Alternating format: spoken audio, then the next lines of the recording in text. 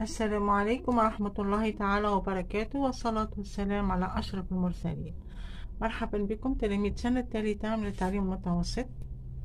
بناء على بعض الطلبة يريدون حل أدمج تعلوماتي الملف الثالث صفحة أربعة وتسعون. إذا نروح مباشرة للإجابة على الأسئلة. أولا أرسم مخططا لفضاء العبادات المستخلصة من حديث الطهور شطر الإيمان. إذا هنا المخطط. يكون المخطط سواء بهذه الطريقة أو هكذا أو مثل البيان يعني آه هكذا. أوكي؟ اذا إحنا راح نختار هذه الدائرة. ونعبر على هذه الدائرة وكأنها هي هي آه الحديد الشريف إذا كيف نخطط هنا؟ عندنا آه الطهور شطر الإيمان. بما أن شطر يعني نصف. إذا نمثل هذه هذه الدائرة كلها بالإيمان. هذه دائرة كاملة بالإيمان. نروحوا للحديث. أفضل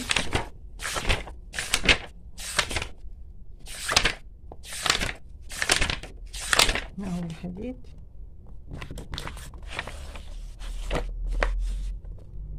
إذا قول الرسول صلى الله عليه وسلم أن الطهور شطر الإيمان. إذا نمثل الدائرة كاملة بالإيمان وشطر يعني نصف. إذا هنا الشطر. الشطر هو النصف. إذا واش نديرو هنا في الدائرة؟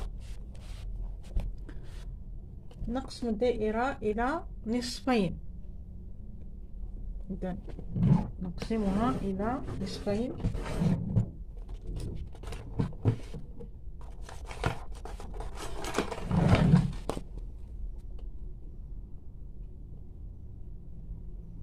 هكذا ويدرس الدائرة هنا أفضل.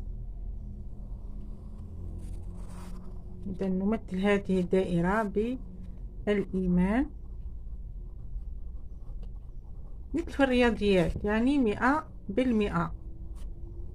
النصف هو خمسون بالمئة. يعني النصف نصف الدائرة هو هذه الجهة. إذا هذا كامل الإيمان ونصف الإيمان هو الطهور. إذا الطهارة تأخذ النصف للإيمان كامل. إذا في الحديث الشريف الطهور شطر الإيمان ثم الحمد لله تملأان تملأ الميزان سبحان الله والحمد لله تملأان أو تملأ ما بين السماوات والأرض والصلاة نور وصدق برهان والصبر ضياء والقرآن حجة لك أو عليك كل الناس يغدو فبائع نفسه ومعتقها أو مبيقها. إذا هذا الحديث مقسوم إلى نصفين. النصف الأول نضعه هنا هو شطر الإيمان هو الطهور وما بقي هنا من صدقة. والحمد لله من الحمد لله. وسبحان الله.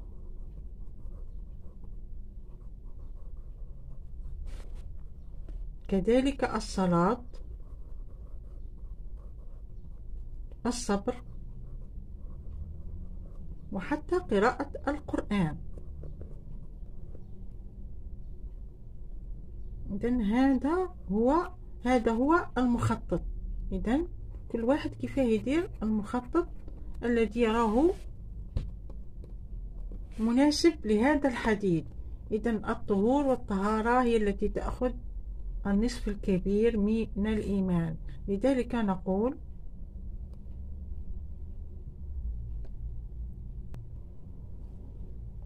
الحديث المعروف المشهور النظافة من الإيمان والوسخ من الشيطان. إذا هذا هو المخطط بصفة عامة. إذا نضع الطهور على جهة هو الذي يأخذ نصف الطهارة وباقي ال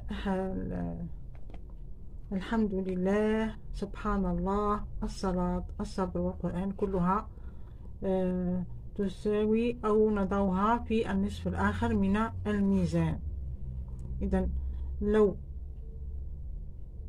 نأخذ الطهور وحده هنا في ميزان هذا يرجح ولو نترك هذه وحدها الطهور يرجح إذا التوازن هو لابد أن يكون هناك الطهور والحمد لله سبحان الله الصلاة والصبر والقرآن ليكون الميزان متوازن.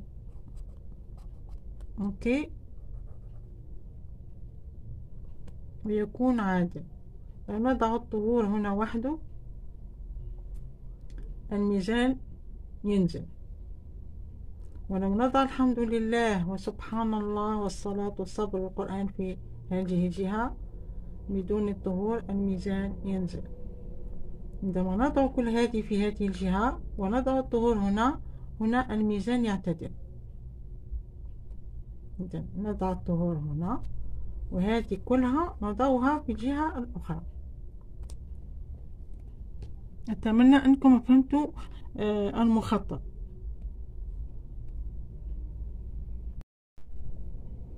نروح الآن للسؤال الثاني أذكر الحكمة من كل شرط من شروط الصيام. إذا نروح لشروط الصيام. الموجودة في أحكام الصيام ها هي. إذا أولا عندنا الإسلام البلوغ العقل الإقامة القدرة على الصوم ودخول شهر رمضان. إذا أولا الحكمة من الإسلام.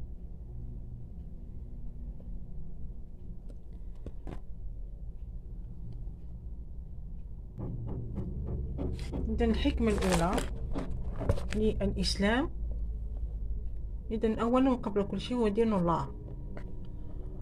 وكل الأمور الموجودة في الشروط هنا. البلوغ العقل الإقامة القدرة على الصوم ودخول شهر رمضان. لا تصح كل هذه الأعمال إلا بالإسلام. يعني جميع الأمور لا تصلح إلا به. لا نستطيع أن نكون بالغين ولدينا عقل ونقيم والقدرة على الصيام ونصوم إلا بالإسلام أن نكون مسلمين أولا وقبل كل شيء. لذلك لا يصح الصوم من غير المسلم. فالحكمة من الإسلام هو دين الله. نروح الآن للشرط الثاني وهو البلوغ. البلوغ الحكمة من البلوغ. الحكمة من البلوغ لأن الصبي لا يجب عليه أن يصوم.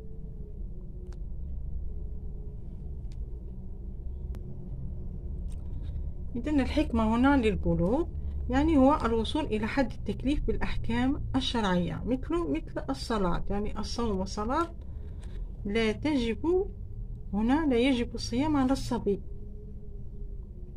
لا نكلف الصبي بالصوم أو بالصلاة نروح الآن للعقل. الحكمة من العقل لا يجب ولا يصح الصوم من مجنون. إذا هنا العاقل. يجب الصوم على العاقل وشرط من شروط الصوم. إذا الشرط الثالث وهو العقل. إذا لا يصح ولا يجب الصوم على المجنون أو فاقد العقل أو المغمى عليه. فاقد العقل أو المغمى عليه ممكن أن يفيق و يصوم لكن المجنون لا يصح عليه الصوم. لذلك نقول بأن العقل حكمه التمييز. يعني لابد من الإنسان أن يكون يميز. أي لا يصح على فاقد العقل أو المجنون وكذلك على المغمى عليه حتى آه، يفيق. نروح الآن للإقامة. الحكمة من الإقامة هو لا يجب الصوم على المسافر فإن صام صح منه. إذا لابد على الإنسان يكون مقيم في البلد. يعني يسكن في آه، المكان موجود في مكانه. لا يجب عليه الصوم وهو مسافر لأن السفر مشقة للمسافر. لذلك شرط من شروط صوم رمضان وهي الإقامة يعني يكون موجود في المكان الذي يقوم فيه الصوم. إذن الحكمة منه لأن المسافر آه، السفر يكون شاق لذلك يجب أن يكون مقيم وإذا سافر يفطر ويعيد ذلك اليوم. ومن كان مسافرا فمن كان مسافر فعدة من أيام أخرى مذكورة في القرآن الكريم.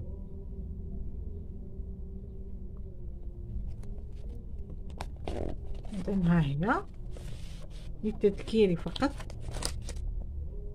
فمن شهد من بعد أعوذ بالله من الشيطان الرجيم. بسم الله الرحمن الرحيم. فمن شهد منكم شهر فليصم ومن كان مريضا أو على سفر فعدة من أيام أخرى يريد الله بكم اليسر ولا يريد بكم العسر ولتكملوا العدة ولتكبروا الله على ما هداكم ولعلكم تشكرون.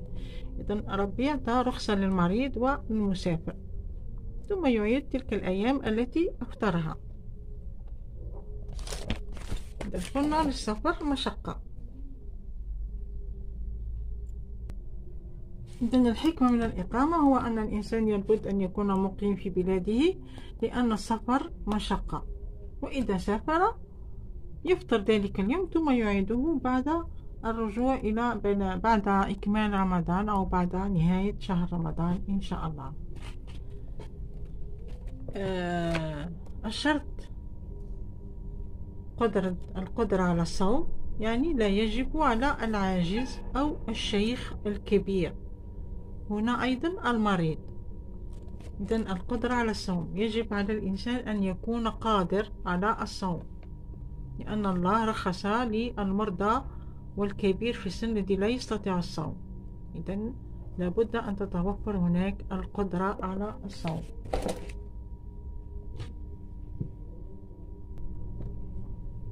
إذن القدرة على الصوم يعني في اليوم الذي يصوم فيه المسلم من الفجر إلى المغرب يكون الصائم يشعر بالجوع أو يشعر الصائم المسلم بالجوع والعطش طوال النهار.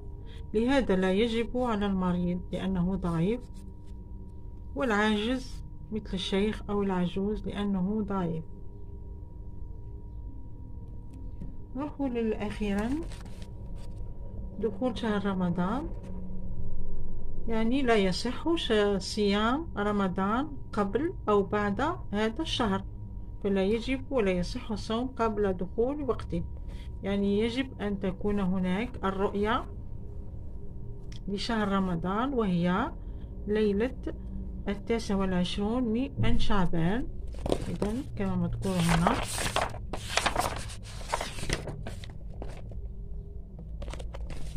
إذن لابد من ثبوت شهر رمضان ويثبت برؤية الهلال من قبل عدلين فأكثر. وكذلك إكمال شهر شعبان 30 يوم. إذن هذا بالنسبة للسؤال أذكر الحكمة من كل شرط من شروط الصيام. أذكر.